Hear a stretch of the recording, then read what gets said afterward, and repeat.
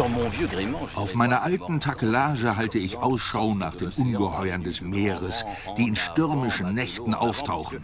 Auf, Matrose, lass uns weiterziehen. So heißt es in einem alten Seemannslied, an das ich hier in der Vendée denken muss. Dieses Departement hat die französische Geschichte stark geprägt. Heute ist es ein beliebtes Urlaubsziel, denn es liegt am Meer und bietet ein interessantes Hinterland. Auch kulinarisch gesehen ergänzen sich die Produkte aus dem Meer und von Mutter Erde in dieser Gegend hervorragend. Aber mehr möchte ich jetzt noch nicht verraten. Hier sind wir übrigens vor einer Insel, der Ile de Noirmoutier, ein Name, der Sie vielleicht auch schon etwas ins Träumen geraten lässt. Wir beginnen unsere Reise aber nicht auf der Ile de Noirmoutier, sondern weiter im Süden des Departements, wo sich das Wasser und die Natur harmonisch verbinden. Durch den Morgennebel sehen wir in der Ferne ein Bauwerk, das unser Interesse weckt. Die Ruine der ehemaligen Benediktinerabtei Abbaye de Maizet aus dem Jahr 1003. Sie spielte eine wichtige Rolle bei der Entwicklung der Region, vor allem bei der Trockenlegung des Sumpfgebietes Marie-Poitevin. Euh, Auf dieser Karte sehen wir die Landschaft vor dem Bau der Abtei. Man kann gut erkennen, dass Maizet eine Halbinsel war. Man nannte sie L'Île de Maizet. 1317 wurde mit der umfassenden Trockenlegung des Sumpfgebietes begonnen. Diese dauerte mehrere Jahrhunderte. Wie viel Hektar wurden damals trockengelegt? Etwa 100.000 Hektar wurden entwässert. Die Mönche haben damit begonnen. Unter Heinrich IV. wurden die Arbeiten mit Unterstützung von Holländern intensiviert. Warum wurde das Gebiet trockengelegt? Das Wasser aus dem Sumpfgebiet wurde ins Meer umgeleitet, um Anbauflächen zu gewinnen.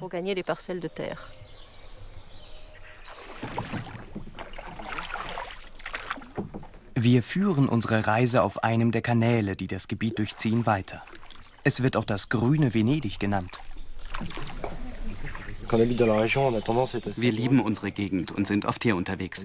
Viele machen am Wochenende oder abends noch eine kurze Bootstour durch das Sumpfgebiet.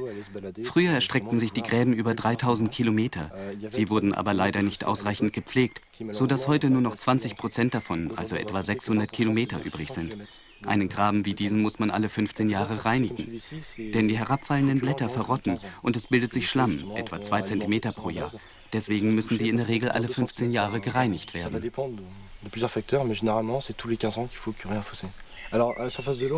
Auf der Wasseroberfläche sehen Sie die sogenannten Wasserlinsen. Die gibt es hier nur im Sommer, nicht im Winter. Sie entwickeln sich durch Photosynthese, das heißt, je mehr Sonnenlicht und Wärme vorhanden ist, umso stärker wächst die Wasserlinse. Die Vegetation an Land ist vielfältig. Direkt am Wasser wurden Eschen gepflanzt. Sie dienen zur Befestigung der Ufer. Dann gibt es natürlich Pappeln und weitere Baumarten hier aus der Gegend.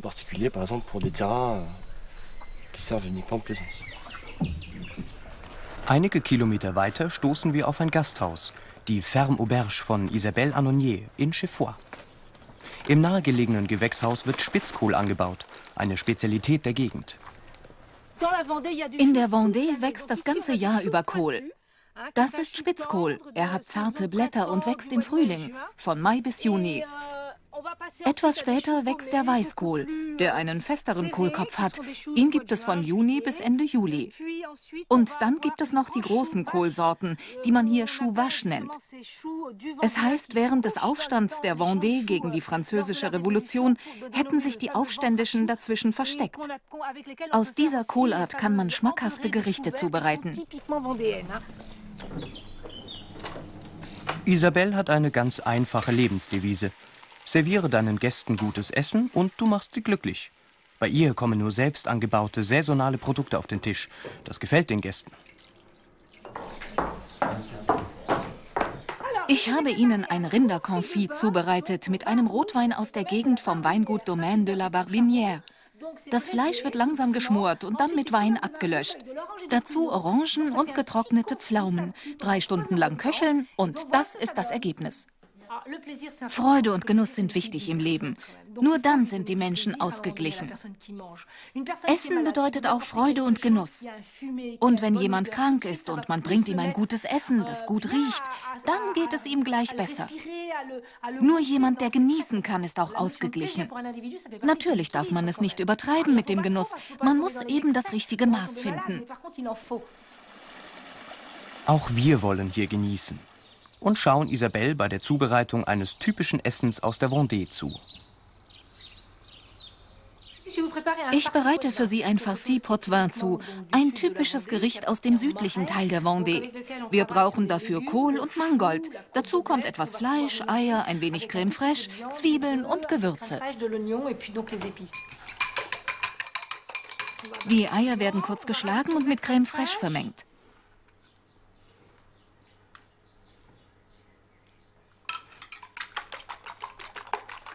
Jetzt kommen die geschnittenen Zwiebeln dazu. Die geben dem Gericht mehr Geschmack, denn das Gemüse an sich ist relativ fad. Deswegen geben wir die Zwiebeln zur Verstärkung dazu.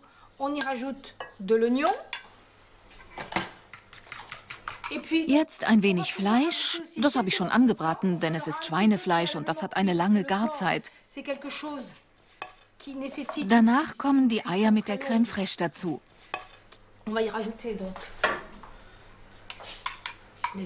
Dann kann man alle Zutaten vermengen.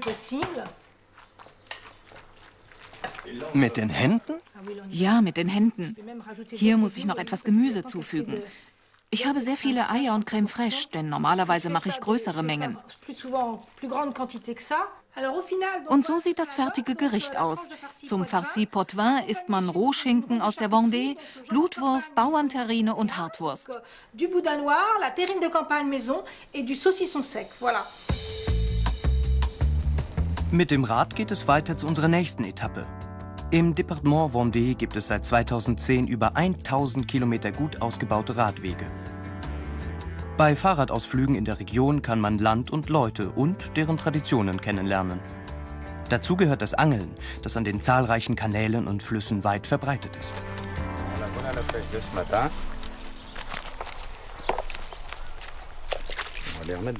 Das ist unser Fang.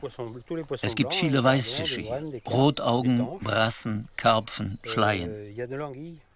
Auch Aale kommen in dieser Gegend vor, denn alle diese Wassergräben sind miteinander verbunden, bis sie ins Meer münden. An Fleischfressern haben wir hier den Hecht, aber keinen Zander. Der Zander wurde in dieser Gegend nicht eingeführt, deswegen hat er sich hier nicht verbreitet. Für die Angler ist der Tag zu Ende. Sie bringen ihre Ausrüstung in eine extra dafür eingerichtete Hütte, die zum Programm Vacances Pêche Vendée gehört, einer der zahlreichen Initiativen der Region. Wir fahren weiter zu einem der fünf bedeutendsten Dörfer des Departements, nach Vouvant. Dort steht der Turm der Melusine. Der Sage nach war sie eine Fee, die sich jeden Samstagabend in eine Schlange verwandelte.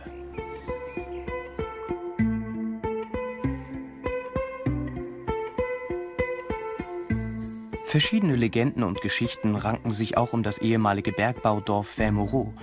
Hier gibt es ein Museum zu Ehren der Minenarbeiter, das auf die 130-jährige Geschichte des Bergbaus zurückblickt.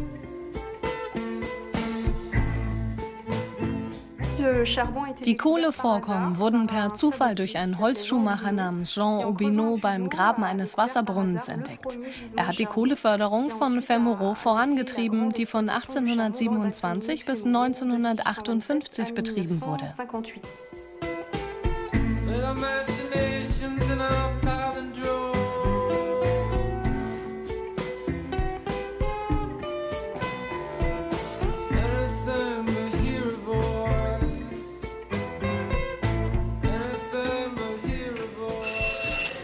Wir tauchen in eine andere Atmosphäre und eine andere Gegend ein. An der Küste sind die Fischer mit ihrem Fang zurückgekommen. Hier treffen wir Jean-Pascal Vallée, Küchenchef des Restaurants Villa Dilecta, der auf dem Fischmarkt seine morgendlichen Einkäufe tätigt. Wir dürfen ihn dabei begleiten. Guten Tag. Guten Tag. Hallo Julien. Hallo Jean. Was hast du heute an kleinen Hummern zu bieten? Hier, ich bin gerade dabei, sie auszupacken. Ich nehme acht davon. Männchen oder Weibchen, was möchtest du? Was ist das? Welche sind besser? Die Weibchen sind besser. Gut, dann nehme ich davon. Die Qualität ist je nach Jahreszeit unterschiedlich, wie bei den Krebsen oder den Meeresspinnen. Das kommt auf die Legezeit an. Manchmal sind die Männchen besser bestückt, manchmal die Weibchen. Im Moment sind die Weibchen von besserer Qualität. Der Fischer Julien zeigt uns die verschiedenen Becken und stellt uns die hiesigen Meeresbewohner vor. Das ist eine Meeresspinne, die wir hauptsächlich im Winter fangen. Das hier ist ein Männchen. Es hat größere Scheren als das Weibchen. Das ist bei allen Krustentieren gleich. Die Weibchen haben einen größeren Körper, die Männchen die größeren Scheren. Hier haben wir Hummer. Die Fangsaison beginnt im Frühjahr. Die beste Zeit ist im Sommer. Das hier ist ein Männchen. Wie schwer ist er ungefähr? Zwei Kilo ungefähr. Ja, zwei Kilo. Kilos. Hier haben wir schöne Langusten. Das ist ein großes Exemplar.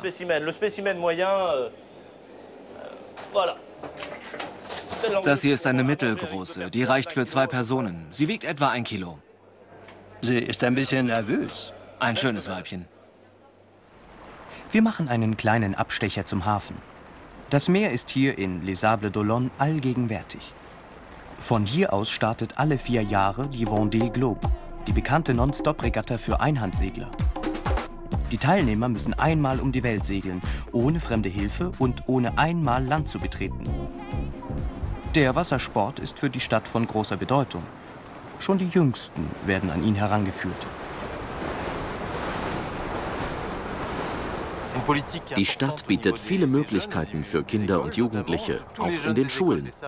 Seit 15 Jahren praktizieren alle Schüler in Les Sables d'Olonne in der Schule einen Wassersport. Segeln, Kajakfahren oder Surfen. Die Kenntnisse, die sie in der Schule erworben haben, können sie dann in den verschiedenen Sportvereinen vertiefen.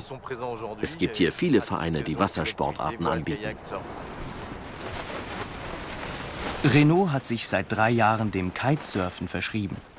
Diese Sportart ist noch relativ wenig verbreitet. Man braucht dafür weite Wasserflächen und gute Windverhältnisse. Wie sind die Wetterverhältnisse heute, Renault? Wir haben heute gute Bedingungen, wie meistens im Frühling und im Sommer in dieser Region. Wir haben einen leichten Wind, der nachmittags aufkommt, meistens gleichzeitig mit der Flut. Es ist ein leichter Wind aus Nordwest, der ideal ist fürs Kitesurfen. Er ist nicht sehr stark. Er hat etwa die Stärke 3 oder 4 und bringt kleine Wellen. Das ist ideal. Dann viel Spaß. Den werde ich haben.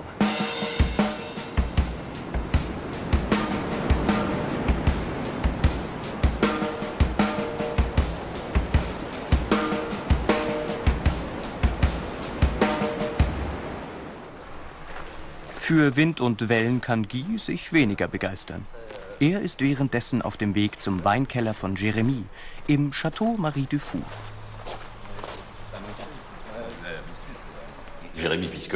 Die Vendée liegt im Loiretal und ihre Weine gehören zu der Weinbauregion Val de Loire. Aber sie hatten lange kein AOC-Siegel. Sie hatten das Siegel Vin délimité de qualité supérieure. Das bedeutet Weine höherer Qualität aus begrenztem Anbaugebiet. Ab dem Jahrgang 2011 haben wir das AOC-Siegel bekommen. Die Vendée galt früher nicht als typisches Weinanbaugebiet. Man ging lange Zeit davon aus, dass die Weine aus der Vendée nicht von besonders hoher Qualität seien. Aber in den letzten Jahren hat sich das geändert. Ja, es hat sich einiges getan.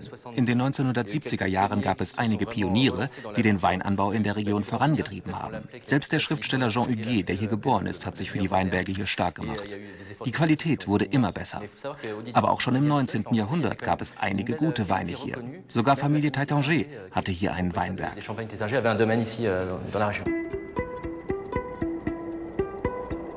Wir fahren weiter zur Ile de Noirmoutier. Bei Ebbe können wir die Passage du Gois benutzen.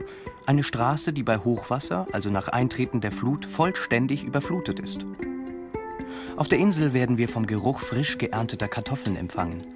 Und wir treffen zwei Männer, die hier für ihre Kartoffeln bekannt sind. Die neuen Kartoffeln werden innerhalb von fünf Tagen geerntet und dann sofort weiterverkauft, damit sie ihren frischen Geschmack beibehalten. Wir bauen hier verschiedene Frühkartoffeln an. Sie werden gleich geerntet, wenn sie reif sind. Sie sind also noch ganz frisch. Nach der Bonnotte kommen die anderen Sorten dran, wie Sirtema oder Lady Crystal. Wenn man etwas daran reibt, geht die Schale ab. Das sind die typischen Frühkartoffeln der Ile de Noirmoutier. Ja, diese kleinen Kartoffeln haben einen ganz eigenen, typischen Geschmack. Da sie hier in der Nähe des Meeres angebaut werden, schmecken sie nach Meer und Jod, das sich im Meerwasser und der Luft befindet. Wenn die Kartoffeln nicht hier, sondern weiter drinnen, auf der Insel oder auf dem Festland angebaut würden, hätten sie einen ganz anderen Geschmack. Hier haben sie diese leicht nussige und salzige Note. Auch die Größe spielt eine Rolle. Diese kleinen Exemplare hier werden ganz anders zubereitet als die größeren. Und sie haben einen ganz anderen Geschmack différente et un goût encore différent. Das wollen wir testen. In Alexandres Restaurant La Marine am Hafen. Das Restaurant ist ein erfolgreiches Familienunternehmen. Alexandre und seine Frau haben es vor einigen Jahren übernommen. Mit viel Fleiß und Liebe haben sie es sogar zu einem Michelin-Stern gebracht. Wir bereiten für Sie Kartoffeln im Salz- und Algenmantel zu. Dazu stellen wir einen Teig her aus Mehl, getrockneten Algen, Eiweiß, Wasser und Grossel also groben Meersalz. Aus diesen Zutaten knetet man einen schönen glatten Teig.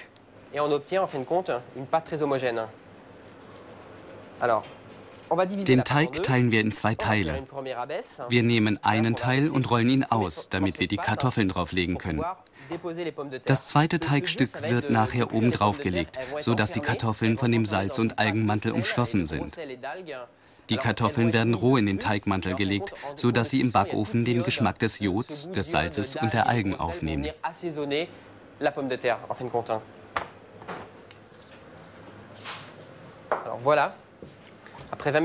Nach 20 Minuten sind die Kartoffeln gar. Und jetzt aufgepasst. Jetzt kommt die Überraschung. Ich schneide den oberen Teil auf. Und schon kommt einem der Duft von Jod und Salz entgegen. Das riecht wunderbar. Wenn man den Teigmantel öffnet, steigt einem schon dieser wunderbare Duft entgegen. Hier verbinden sich die Gerüche des Meeres und der Erde. Das ist wirklich ein Genuss.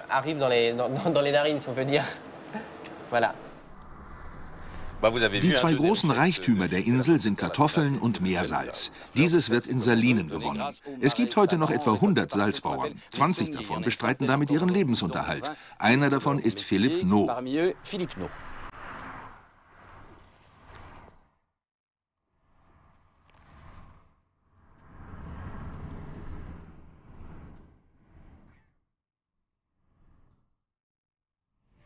Darf ich Sie kurz stören, Philipp? Ja, sicher. Beeindruckend. Sie machen die gleichen Handgriffe wie vor 1500 Jahren, wenn vielleicht auch mit anderen Werkzeugen. Die Werkzeuge haben sich auch kaum verändert. Und wie heißen die? Das ist ein Holzrechen. Ein Holzrechen? Ja, wir brauchen für die Salzgewinnung die vier Elemente. Wasser, Wind, Sonne für die Verdunstung und Erde. Auf der Insel haben wir Tonerde. Und da ein Großteil der Insel unter dem Meeresspiegel liegt, haben wir hier immer einen direkten Wasserzufluss. Der Wind nimmt die Feuchtigkeit des Wassers auf, das wir aus den Salzgärten in unsere Becken geleitet haben. In diesen Becken kann dann das Wasser verdunsten und dafür brauchen wir die Sonne, die die nötige Wärme produziert. Wenn ich also hier im Meer bade und dabei Wasser schlucke, dann esse ich gewissermaßen Ihr Salz. Ja, aber nur teilweise. Denn bevor Sie das Salz, das sich im Meerwasser befindet, in essbarer Form auf dem Tisch haben, muss die Salzkonzentration erst von 30 Gramm pro Liter auf 250 Gramm pro Liter erhöht werden. Das geschieht in den Kristallisationsbecken, in denen sich die Salzkristalle bilden. Und der Unterschied zwischen dem Grossel, dem groben Salz, und dem Fleur de sel, der Salzblume? Beide Salze werden aus dem gleichen Becken gewonnen. Das Großsell kristallisiert auf dem Boden des Beckens. Deswegen ist es auch leicht grau, denn es entsteht direkt auf dem Tonboden des Beckens. Das Fleur de sel, die Salzblume dagegen, bildet sich an der Oberfläche des Wassers und kann nur bei günstigen Wetterbedingungen mit einem speziellen Werkzeug geerntet werden. Die Ernte des Fleur de Sel macht etwa 3 bis 6 Prozent der Ernte des groben Salzes in einem Becken aus. Es steht nur in geringen Mengen zur Verfügung und wird besonders von der hohen Gastronomie geschätzt.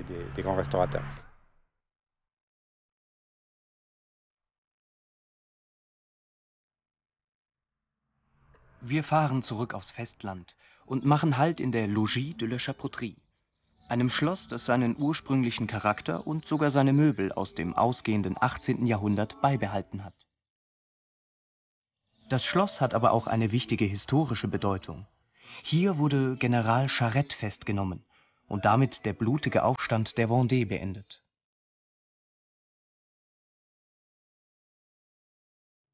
In der Küche erinnern der Schal und die Pistole des Generals an seine letzten Stunden. Im Schlossgarten dagegen komponiert der Küchenchef gerade ein kulinarisches Meisterwerk mit den Köstlichkeiten des eigenen Gemüsegartens.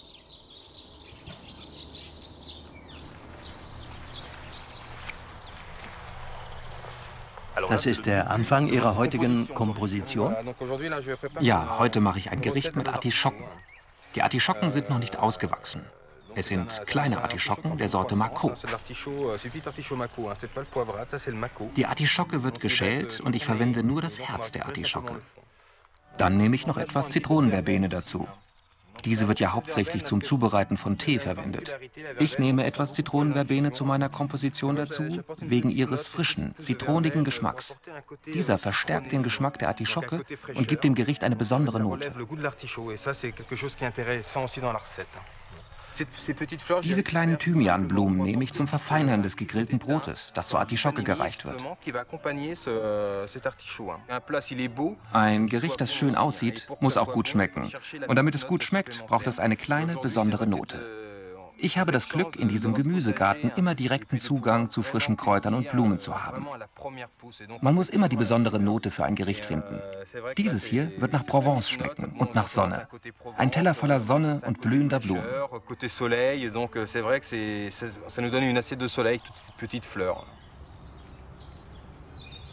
Auf unserer Fahrt entlang der Schlösser der Vendée machen wir im Manoir de la Thébeline Halt. Im ehemaligen Familienwohnhaus befinden sich heute Gästezimmer. Für uns ist das die Chance, ein typisches Frühstück aus der Vendée zu probieren. Wir haben hier Gâche und Brioche. Und worin liegt der Unterschied? Die Gâche ist mit Crème fraîche gemacht, die Brioche nicht. Deswegen schmeckt sie auch ein bisschen anders. Aber das muss jeder selbst herausfinden. Das ist also eine Spezialität aus der Vendée? Ja, es gibt sogar ein klar abgegrenztes Herkunftsgebiet. Dieses erstreckt sich über die Vendée ein bisschen weiter in die Departements Loire-Atlantique und Maine-et-Loire. Aber das Gebiet ist klar begrenzt. Und was macht diese Brioche so besonders? Nun, sie ist sehr leicht und locker, wie Sie sehen können. Diese perfekte Brioche gibt es nur in der Vendée. En pleine fête de chevalerie. De la bataille qui s'ensuivit, il ne reste plus rien d'autre que cette tour. Die Bilder von Rittern und ihren Kämpfen aus dem Vergnügungspark Puy du Fou rufen uns in Erinnerung, dass die Vendée immer wieder von Kriegen heimgesucht wurde. Spuren dieser Vergangenheit sind bis heute vorhanden, zum Beispiel im Château de Tifauge. In Tifauge gibt es drei Maschinen, die nach dem Prinzip Gegengewicht, Pendel und Schleuder funktionieren. Hier die jüngste Wurfmaschine. Sie wurde im 15. und 16. Jahrhundert eingesetzt. Mit ihr konnten 10 bis 12 Geschosse pro Stunde 115 Meter weit geworfen werden. Vier Männer mussten sie bedienen.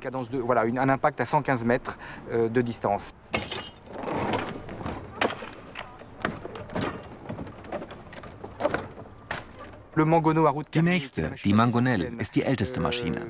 Sie hatte den Nachteil, dass der Mast mit dem Gegengewicht verbunden war, sodass ein Schuss immer einen starken Rückstoß verursachte.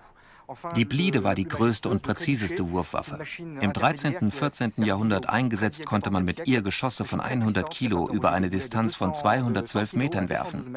Das heißt, von hier aus hätte man problemlos die Kirche von Tifauge treffen können. Unsere Reise geht zu Ende. Man soll aufhören, wenn es am schönsten ist. Hier habe ich noch etwas, über das wir gar nicht gesprochen haben, das aber eine der Perlen der Gegend ist. Die Auster. Habe ich Ihnen eigentlich schon gesagt, dass diese Gegend fast genauso viele Sonnenstunden hat wie die Côte d'Azur? Man hat mir schon gesagt, dass man mir das ansehen würde. Dieser Ort hier gehört übrigens zu den gastronomischen Höhepunkten der Vendée. Das Restaurant Cayola, das unter Raphaël Roland seinen ersten Michelin-Stern bekommen hat. Das Restaurant ist natürlich wegen seiner ausgezeichneten Küche beliebt, aber auch wegen seiner traumhaften Lage. Ich trinke auf Sie und auf die Vendée.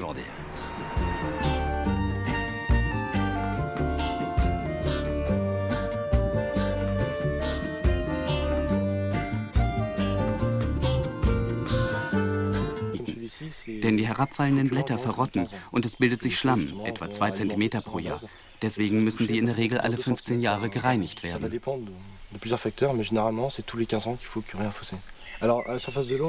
Auf der Wasseroberfläche sehen Sie die sogenannten Wasserlinsen. Die gibt es hier nur im Sommer, nicht im Winter. Sie entwickeln sich durch Photosynthese, das heißt, je mehr Sonnenlicht und Wärme vorhanden ist, umso stärker wächst die Wasserlinse. Die Vegetation an Land ist vielfältig. Direkt am Wasser wurden Eschen gepflanzt. Sie dienen zur Befestigung der Ufer. Dann gibt es natürlich Pappeln und weitere Baumarten hier aus der Gegend.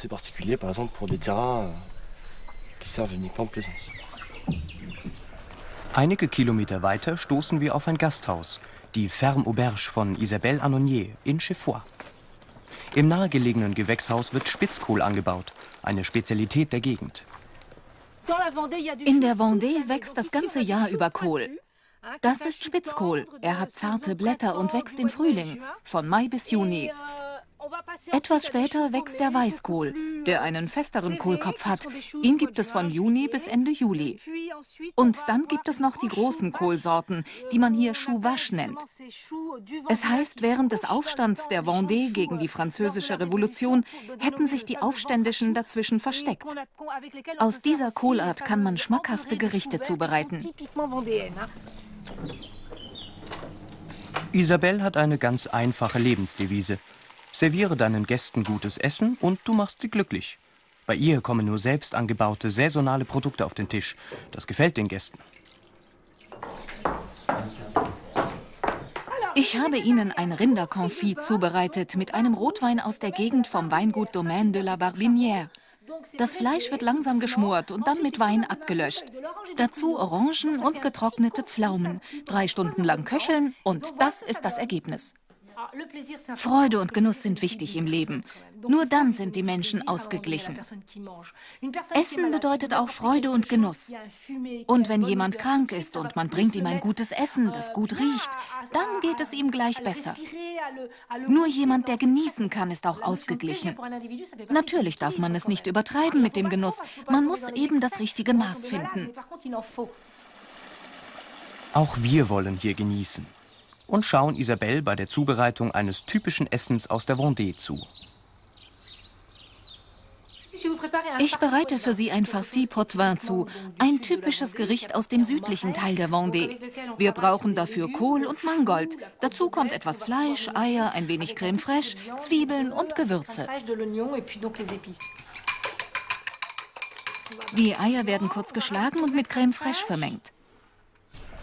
Einige Kilometer weiter stoßen wir auf ein Gasthaus, die Ferme Auberge von Isabelle Anonier in Chefois.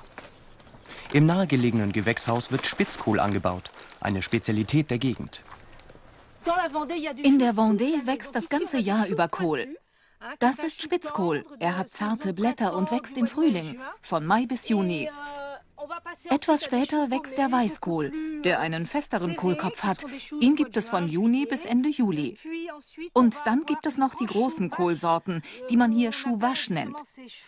Es heißt, während des Aufstands der Vendée gegen die französische Revolution hätten sich die Aufständischen dazwischen versteckt. Aus dieser Kohlart kann man schmackhafte Gerichte zubereiten. Isabelle hat eine ganz einfache Lebensdevise. Serviere deinen Gästen gutes Essen und du machst sie glücklich. Bei ihr kommen nur selbst angebaute, saisonale Produkte auf den Tisch. Das gefällt den Gästen. Ich habe Ihnen ein Rinderconfit zubereitet mit einem Rotwein aus der Gegend vom Weingut Domaine de la Barbinière. Das Fleisch wird langsam geschmort und dann mit Wein abgelöscht. Dazu Orangen und getrocknete Pflaumen. Drei Stunden lang köcheln und das ist das Ergebnis. Freude und Genuss sind wichtig im Leben. Nur dann sind die Menschen ausgeglichen. Essen bedeutet auch Freude und Genuss.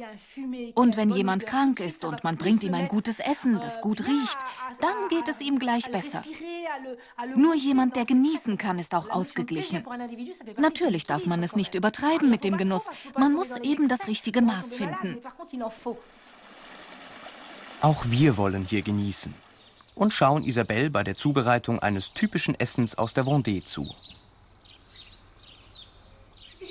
Ich bereite für Sie ein Farci Potvin zu, ein typisches Gericht aus dem südlichen Teil der Vendée. Wir brauchen dafür Kohl und Mangold. Dazu kommt etwas Fleisch, Eier, ein wenig Creme fraiche, Zwiebeln und Gewürze. Die Eier werden kurz geschlagen und mit Creme fraiche vermengt.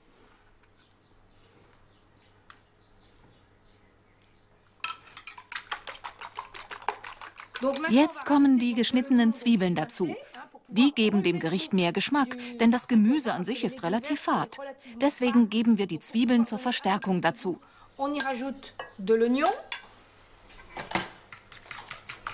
Jetzt ein wenig Fleisch. Das habe ich schon angebraten, denn es ist Schweinefleisch und das hat eine lange Garzeit. Danach kommen die Eier mit der Creme fraiche dazu.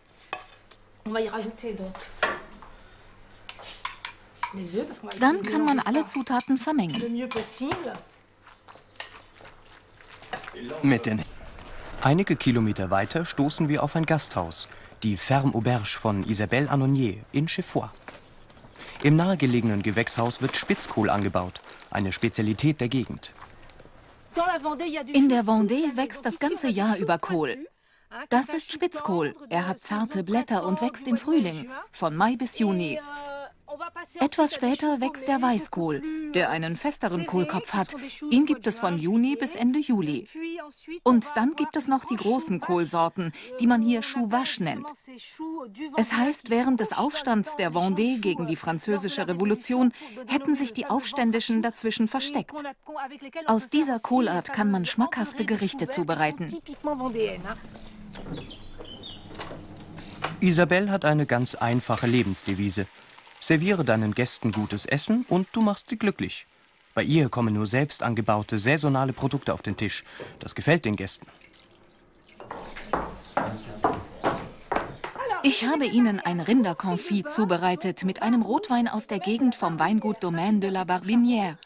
Das Fleisch wird langsam geschmort und dann mit Wein abgelöscht. Dazu Orangen und getrocknete Pflaumen. Drei Stunden lang köcheln und das ist das Ergebnis. Freude und Genuss sind wichtig im Leben. Nur dann sind die Menschen ausgeglichen. Essen bedeutet auch Freude und Genuss. Und wenn jemand krank ist und man bringt ihm ein gutes Essen, das gut riecht, dann geht es ihm gleich besser. Nur jemand, der genießen kann, ist auch ausgeglichen. Natürlich darf man es nicht übertreiben mit dem Genuss. Man muss eben das richtige Maß finden. Auch wir wollen hier genießen und schauen Isabelle bei der Zubereitung eines typischen Essens aus der Vendée zu. Ich bereite für Sie ein Farci Potvin zu, ein typisches Gericht aus dem südlichen Teil der Vendée. Wir brauchen dafür Kohl und Mangold. Dazu kommt etwas Fleisch, Eier, ein wenig Creme fraiche, Zwiebeln und Gewürze. Die Eier werden kurz geschlagen und mit Creme fraiche vermengt.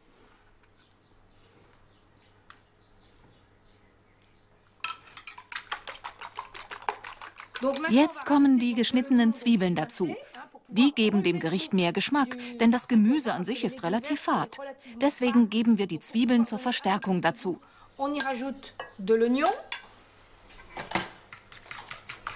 Jetzt ein wenig Fleisch. Das habe ich schon angebraten, denn es ist Schweinefleisch und das hat eine lange Garzeit.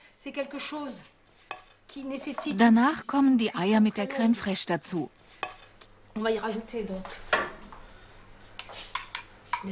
Dann kann man alle Zutaten vermengen.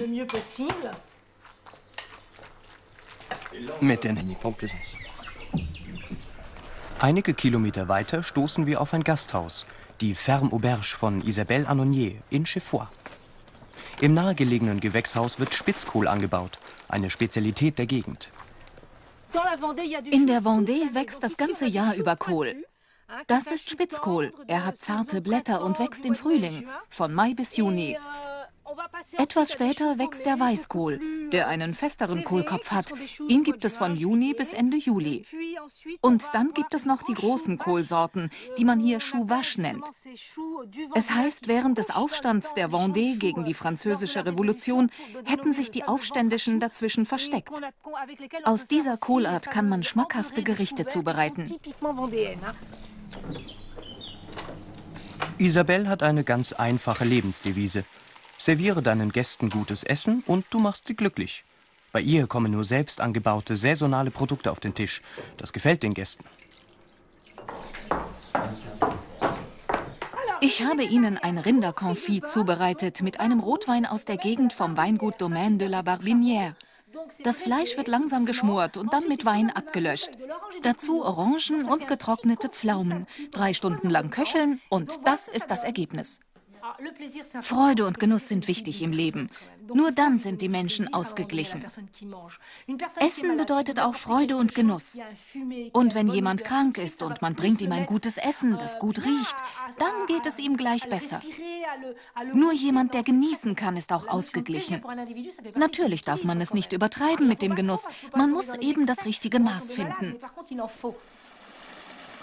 Auch wir wollen hier genießen und schauen Isabelle bei der Zubereitung eines typischen Essens aus der Vendée zu. Ich bereite für Sie ein Farci Potvin zu, ein typisches Gericht aus dem südlichen Teil der Vendée.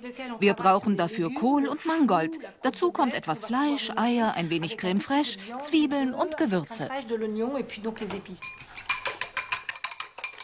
Die Eier werden kurz geschlagen und mit Creme fraiche vermengt.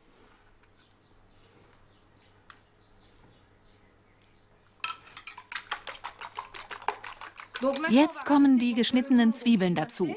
Die geben dem Gericht mehr Geschmack, denn das Gemüse an sich ist relativ fad. Deswegen geben wir die Zwiebeln zur Verstärkung dazu.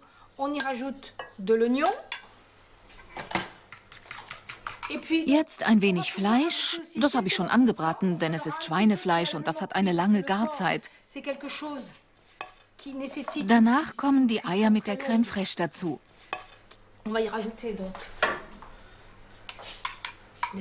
Dann kann man alle Zutaten vermengen.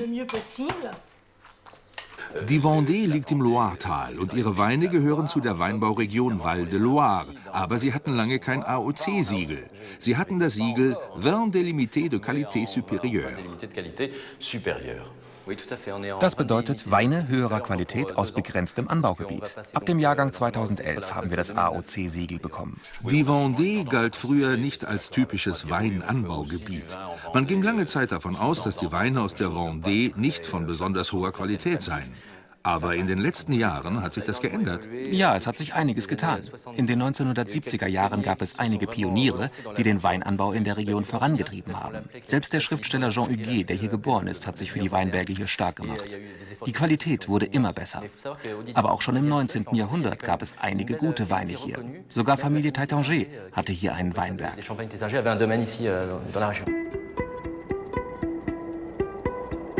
Wir fahren weiter zur Ile de Noirmoutier. Bei Ebbe können wir die Passage du Gois benutzen. Eine Straße, die bei Hochwasser, also nach Eintreten der Flut, vollständig überflutet ist. Auf der Insel werden wir vom Geruch frisch geernteter Kartoffeln empfangen. Und wir treffen zwei Männer, die hier für ihre Kartoffeln bekannt sind. Die neuen Kartoffeln werden innerhalb von fünf Tagen geerntet und dann sofort weiterverkauft, damit sie ihren frischen Geschmack beibehalten. Wir bauen hier verschiedene Frühkartoffeln an. Sie werden gleich geerntet, wenn sie reif sind. Sie sind also noch ganz frisch. Nach der Bonnotte kommen die anderen Sorten dran, wie Sirtema oder Lady Crystal. Wenn man etwas daran reibt, geht die Schale ab. Das sind die typischen Frühkartoffeln der Ile de Noirmoutier. Ja, diese kleinen Kartoffeln haben einen ganz eigenen, typischen Geschmack. Da sie hier in der Nähe des Meeres angebaut werden, schmecken sie nach Meer und Jod, das sich im Meerwasser und der Luft befindet. Wenn die Kartoffeln nicht hier, sondern weiter drinnen, auf der Insel oder auf dem Festland angebaut würden, hätten sie einen ganz anderen Geschmack. Hier haben sie diese leicht nussige und salzige Note. Auch die Größe spielt eine Rolle. Diese kleinen Exemplare hier werden ganz anders zubereitet als die größeren. Und sie haben einen ganz anderen Geschmack et un goût encore différent. Das wollen wir testen. In Alexandres Restaurant La Marine am Hafen. Das Restaurant ist ein erfolgreiches Familienunternehmen. Alexandre und seine Frau haben es vor einigen Jahren übernommen. Mit viel Fleiß und Liebe haben sie es sogar zu einem Michelin-Stern gebracht. Wir bereiten für Sie Kartoffeln im Salz- und Algenmantel zu. Dazu stellen wir einen Teig her aus Mehl, getrockneten Algen, Eiweiß, Wasser und Grossel also groben Meersalz. Aus diesen Zutaten knetet man einen schönen, glatten Teig.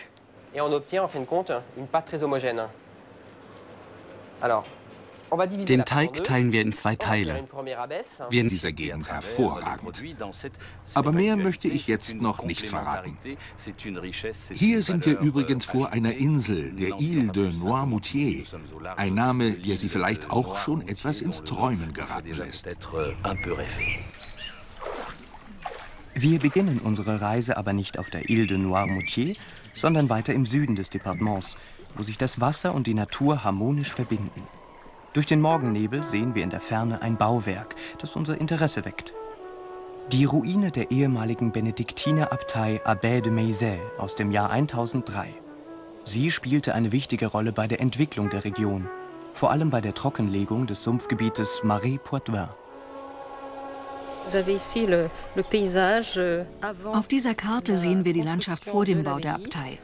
Man kann gut erkennen, dass Meizet eine Halbinsel war. Man nannte sie L'Île de Meizet. 1317 wurde mit der umfassenden Trockenlegung des Sumpfgebietes begonnen. Diese dauerte mehrere Jahrhunderte. Wie viel Hektar wurden damals trockengelegt? Etwa 100.000 Hektar wurden entwässert. Die Mönche haben damit begonnen. Unter Heinrich IV. wurden die Arbeiten mit Unterstützung von Holländern intensiviert. Warum wurde das Gebiet trockengelegt? Das Wasser aus dem Sumpfgebiet wurde ins Meer umgeleitet, um Anbauflächen zu gewinnen.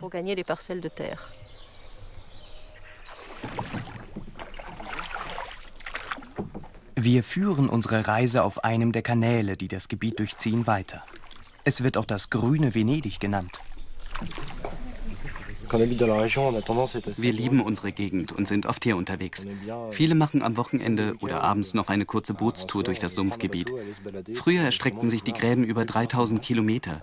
Sie wurden aber leider nicht ausreichend gepflegt, sodass heute nur noch 20 Prozent davon, also etwa 600 Kilometer, übrig sind. Einen Graben wie diesen muss man alle 15 Jahre reinigen. Denn die herabfallenden Blätter verrotten und es bildet sich Schlamm, etwa 2 cm pro Jahr. Deswegen müssen sie in der Regel alle 15 Jahre gereinigt werden.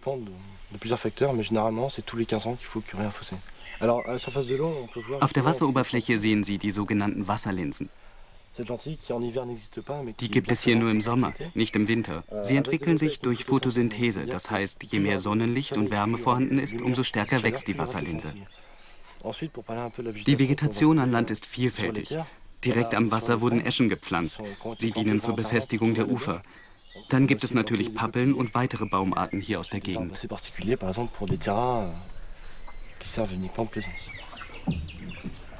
Einige Kilometer weiter stoßen wir auf ein Gasthaus, die Ferme Auberge von Isabelle Annonier in Cheffois.